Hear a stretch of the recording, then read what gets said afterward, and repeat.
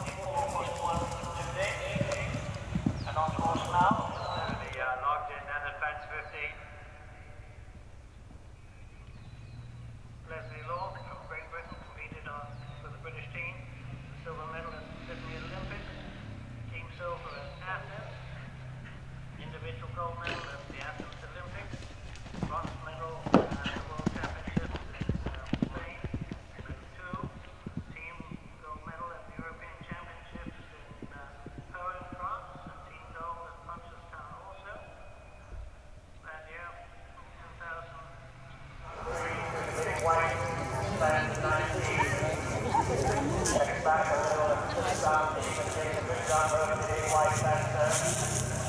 And then the driving our beautifully, the head on top, the big eye, the right hand corner.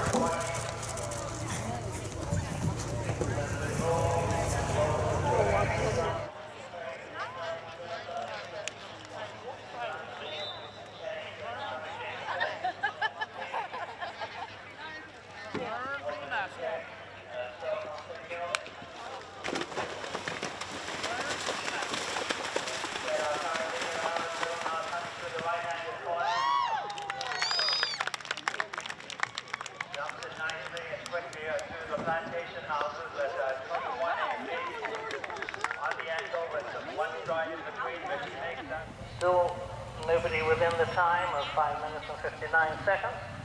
Well on course now is uh, number 72, Selena O'Hanlon and Foxwood High.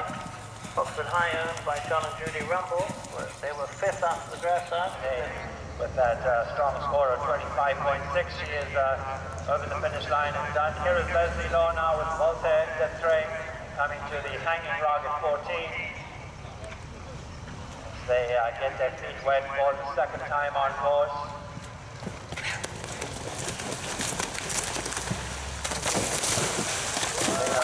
Over the uh, Jim in the shade, that's the uh, bounce up A, B, C, and D.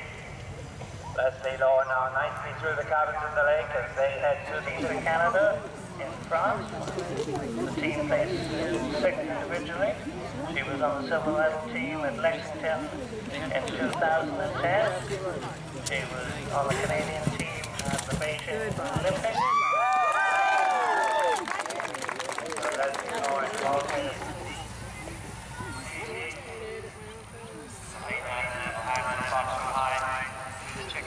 Is vaulted. Jumping penalties, 10.4 time It penalties. was weird, yeah. In first place with 36. Dana O'Hanlon